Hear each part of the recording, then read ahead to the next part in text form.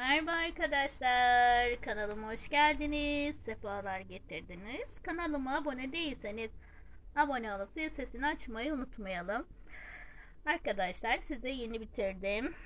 Bebeğimi paylaşmak istedim. Şöyle çok güzel, çok tatlı bir bebek oldu. Şöyle koton iple ördüm. Böyle botları var çizgili pantolonu var. Üzerine de kısacık bir bluzu var.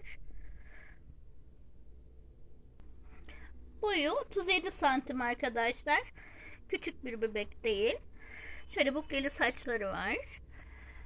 Ee, sizlerle paylaşmak istedim. Maviş maviş gözleri var.